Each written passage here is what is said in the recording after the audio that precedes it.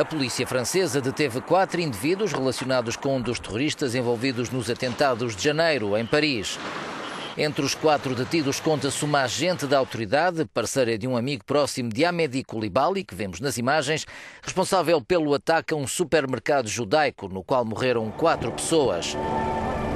Suspeita-se que a mulher polícia teria auxiliado o seu parceiro, identificado apenas como Amar R., pois este estaria envolvido em crimes de tráfico de droga.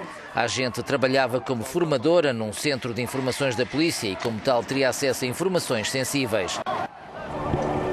Outros quatro suspeitos relacionados com Koulibaly foram detidos provisoriamente no final de janeiro, todos eles acusados de auxiliarem o autor do atentado contra o supermercado judaico.